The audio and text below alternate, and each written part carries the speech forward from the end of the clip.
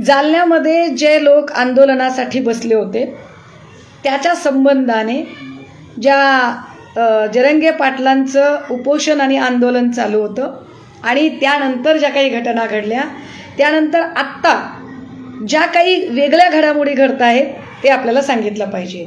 पहिल्यांदा तर अशा पद्धतीने जो लाठी हल्ला होतोय त्याचा आम्ही तीव्र शब्दात निषेध करतो. कारण आम्ही जर घटना मानणारे असू कायदा मानणारे असू तर कुठल्याही अशा अहिंसक आन गोष्टी तेही नागरिकांच्या बाबत होत असतील तर त्याला कुणीही पाठीशी घालणार नाही. त्याचा निषेध झाला पाहिजे. परंतु या निमित्ताने आता काही माध्यमांवर ज्या मला बातम्या बघायला मिळाल्या त्या फार चमत्कारिक आहेत. त्या बातम्यांचा रंग देताना बातम्या अशा येत आहेत की काही माध्यमांमध्ये काही वाहिन्यांवरती सत्तावीस पोलीस जखमी काहींवरती सत्तावन्न पोलीस जखमी आणि मथळे कसे तिथले दिले जात आहेत बघा की पोलिसांची प्रकृती गंभीर तर काही नागरिकही जखमी. पोलिसांची प्रकृती गं प्रकृती गंभीर हे जास्त बोल्ड टाईपमध्ये सांगण्याचा प्रयत्न केला जातोय. काही पोलीस कर्मचाऱ्यांचे फोटो अगदी जाणीवपूर्वक वेगवेगळ्या अवस्थेत बसलेले. असे फोटो आता पोस्ट केले जात आहेत भक्तगणांकडून. भक्तुल्य वेगवेगळ्या पद्धतीने ते फोटो पोस्ट करण्याचा प्रयत्न करत आहेत. थोडक्यात काय? तुमच्या जर ही नीट क्रोनॉलॉजी लक्षात आली तर एक नवा कट आता पुन्हा रचण्याचा प्रयत्न होतोय. की आम्ही पोलिसांनी आंदोलकांवर लाठी हल्ला केलाच नसता. दगडफेक झाली पोलिसांनाच मारहाण झाली. म्हणून लाठी हल्ला करावा लागला अशी एक इनसाइड स्टोरी तयार करण्याचा प्रयत्न गृह खात्याकडून होत आहे. आणि अशी इनसाइड स्टोरी जर तयार करण्याचा प्रयत्न जर केला गेला तर याचा वाईट परिणाम काय होतोय की जे आंदोलक म्हणजे एकतर ते त्यांच्या मागण्यांसाठी आंदोलन करत आहेत दुसरं त्यांच्यावर लाठी हल्ला आहे आणि आता त्यांच्यावरच केसेस टाकण्याची तयारी शासनाकडून केली जाते. किंबहुना तसा बनाव रचला जातोय आणि त्या संदर्भानेच आता ही सगळी मांडणी करण्याचा प्रयत्न केला जातोय.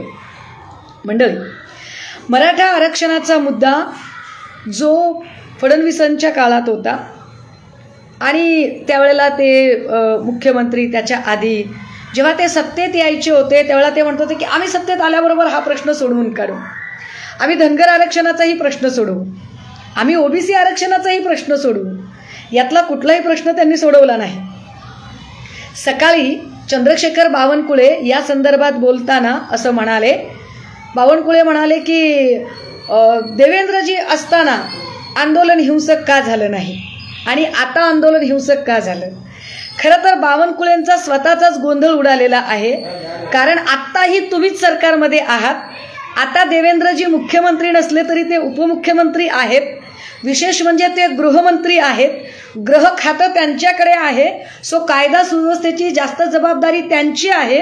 हे बावनकुळेंना कुणीतरी सांगण्याची गरज आहे.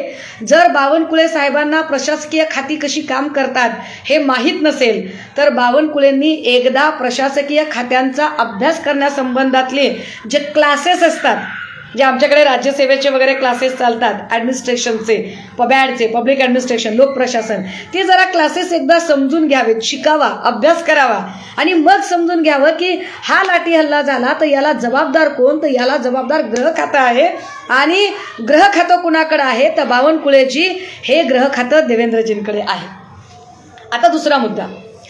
देवेंद्रजींनी बोलताना असं म्हटलं की माझ्यावर बोलण्याच्या आधी जरा गोवारी कांड वगैरे जरा तुम्ही समजून घ्या आणि त्यावेळेला काय झालं होतं.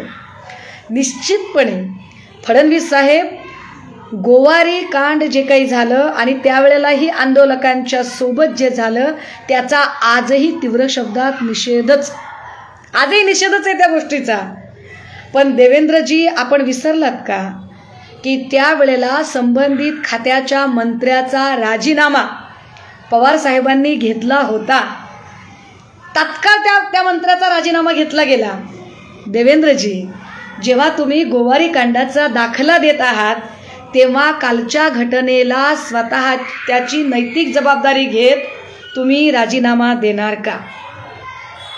कारण तुम्ही जबाबदार आहात त्यामुळे राजीनामा देणं यातच तुमची नैतिकता आहे आणि तो राजीनामा तुम्ही देणार नसाल तर तुमच्यासाठी मराठा आरक्षणापेक्षा ओबीसी आरक्षणापेक्षा धनगर आरक्षणापेक्षा महाराष्ट्रातल्या कायदा सुव्यवस्थेपेक्षा महाराष्ट्रातल्या जनतेच्या हितापेक्षा सुद्धा तुम्हाला तुमचा सत्ता स्वार्थ अधिक नडत आहे असा याचा अर्थ होतो. आणि त्या सत्ता स्वार्थात तुम्ही इतके गुरफटलेले आहात की तुम्हाला आजूबाजूची काही परिस्थिती दिसत नाहीये. बरं.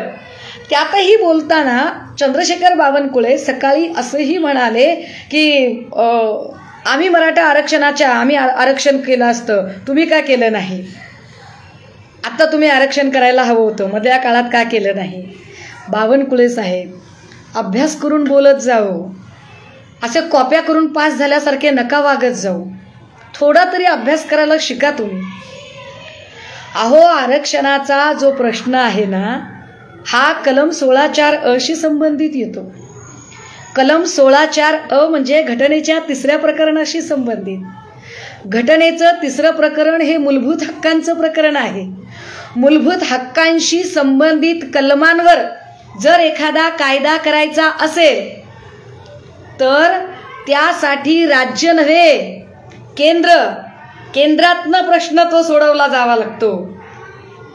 देवेंद्रजी केंद्रात सत्ता कुणाची? केंद्रात सत्ता तुमचीच ना? तीनशे चार खासदार कुणाचे? शंभरपैकी जास्त खासदार कुणाचे? बरं जे खासदार तुम्ही घेतले तेही जाऊ दे आता ते फोडाफोडी करून घेतले इकडून तिकडून घेतले त्यावर आता अजिबात काही मला फार बोलायचं नाहीये. पण केंद्रात सत्ता तुमच्याकडे असताना आणि मूलभूत हक्कांशी संबंधित तिसऱ्या प्रकरणातल्या कलमांवर कायदा करताना केंद्राची भूमिका अधिक महत्त्वाची ठरते. मग तुम्ही मोदीजींना आवश्यक तो रिपोर्ट का केला नाही? महाराष्ट्रातली परिस्थिती तुम्ही का सांगितली नाही? बरं हे तुम्ही एकदा करता का? हे तुम्ही तुमच्या सोयीनुसार करता. तुम्ही धनगर आरक्षणाच्या वेळेलाही असेच वागलात. म्हणजे आरक्षणाच्यासाठी मी असं करेन तसं करेन मी सत्तेत आल्यावर एवढ्या दिवसात करेन एवढ्या तासात करेन ह्या अशा वल्गना तुम्ही केल्याच. मराठा आरक्षणाच्याही वेळेला अशा वल्गना तुम्ही केल्या? तुमचे कित्येक नेते होते जे नेते मोर्चांमध्ये जाऊन बसत होते. आणि जर तुम्हाला असं म्हणायचं असेल की आधी आंदोलकांनीच आमच्यावर दगडफेक केली हे आहे पुन्हा कुभांड रचलं जाते हे पुन्हा ग्रह खातं स्वतःची कातडी बचावण्याचा प्रयत्न करतंय आणि ग्रह खातं ठरून मराठा आंदोलकांना बदनाम करण्याचा प्रयत्न करतंय. मुळात मागे अठ्ठावन्न मोर्चे झाले. या अठ्ठावन्न मोर्चे लाखोंच्या संख्येनं जे मोर्चे निघाले याच्यातल्या एकाही मोर्चामध्ये म्हणजे साधी घोषणा सुद्धा मोठ्या आवाजात दिली गेली नाही. इतके शांततामय वातावरणात ते मोर्चे निघाले होते.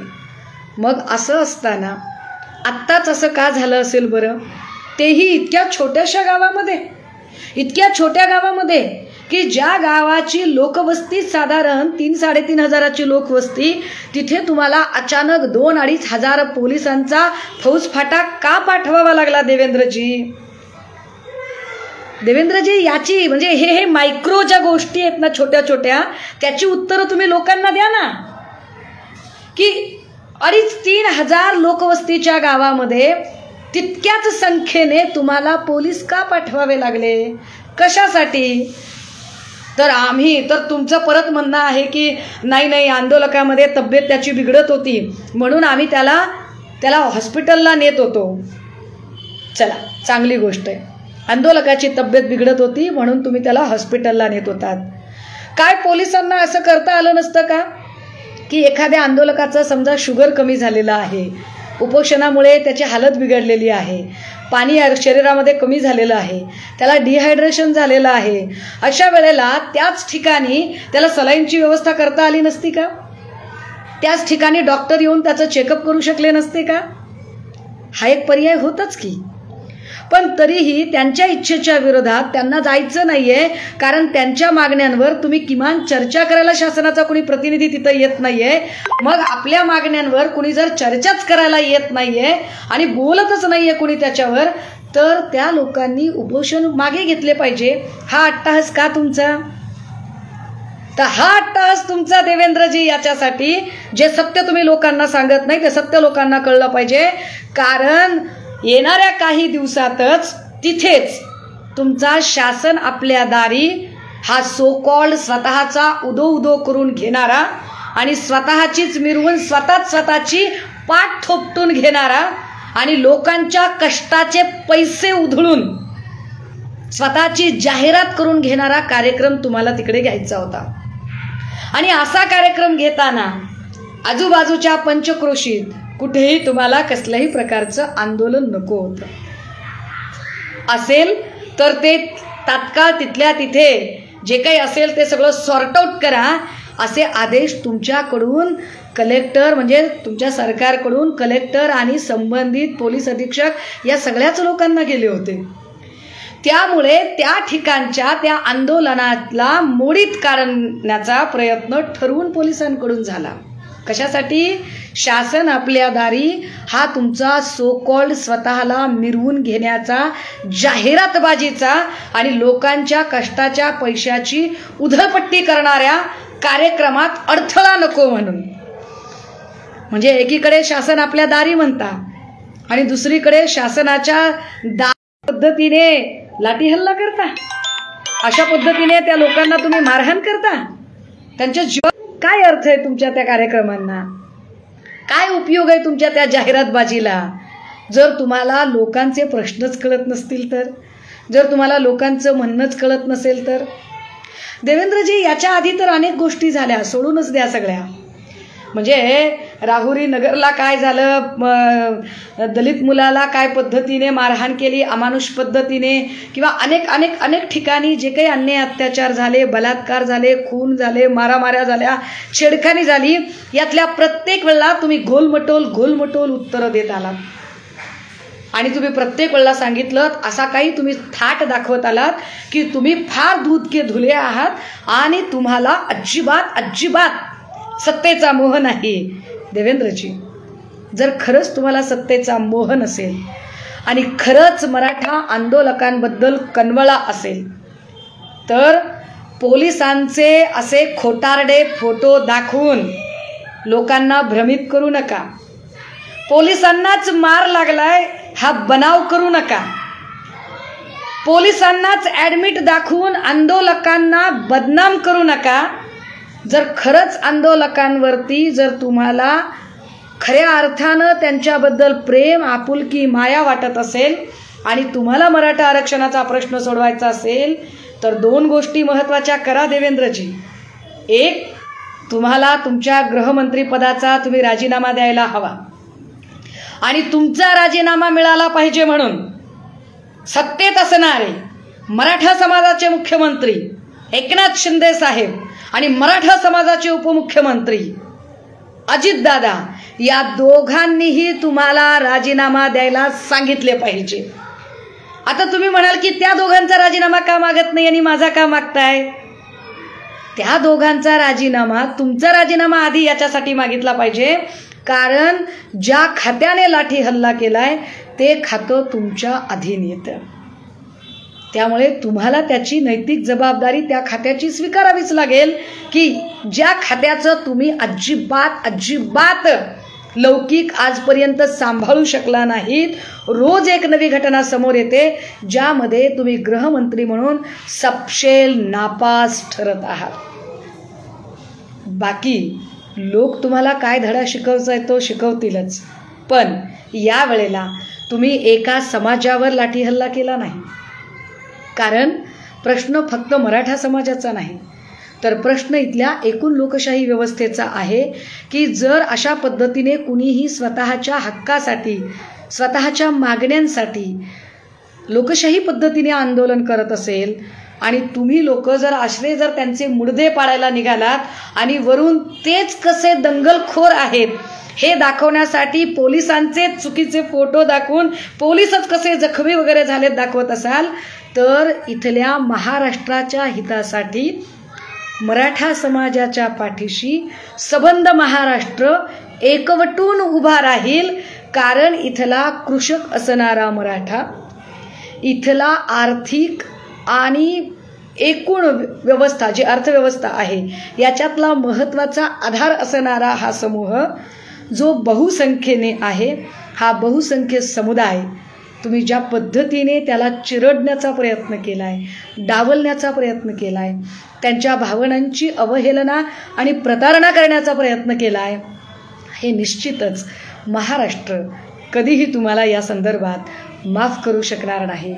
देवेंद्रजी जर थोडी जरी म्हणजे अनेक वेळेला जी गेले थोडीशी आपल्याला जर वाचवायची असेल तर मला असं वाटतं की आपण पहिल्यांदा राजीनामा द्याल आणि दुसरं काम महत्त्वाचं कराल ते म्हणजे तातडीने मराठा आरक्षणाच्या मागणीच्या संदर्भात काय अडथळे आहेत आणि अडथळ्यांवर मार्ग कसा काढता येऊ शकतो या संबंधी कमिट्या नको. कमिट्यावर कमिट्या ठेवण्यापेक्षा या संबंधाने तातडीने दिल्लीश्वरांशी बोलाल. एरवी पक्ष फोडल्यावर बोलता ना? पक्ष फोडायचा असल्यावर दिल्लीश्वरांशी बोलता तुम्ही? आमदार खासदारांची खरेदी विक्री करायची असल्यावर दिल्लीश्वरांना बोलता तुम्ही? मंत्रीपदं कुणाला द्यायची कुणाला नाही द्यायची यावर बोलता तुम्ही दिल्लीश्वरांशी? अहो मग जर आमदार खासदारांच्या खरेदी विक्री आणि पक्षफोडीच्या संदर्भात बोलता तर मग महाराष्ट्रातल्या माणसाच्या जीवासाठी कधीतरी हिंमत करा. तर खऱ्या अर्थाने तुम्हाला काही बोलण्याचा नैतिक अधिकार असेल. अन्यथा तुम्ही कमालीचे सत्ता पिपासू आहात. एवढी एकच गोष्ट या निमित्ताने सिद्ध होईल. जय महाराष्ट्र. तुम्ही पाहत आहात विस्टा न्यूज मराठी.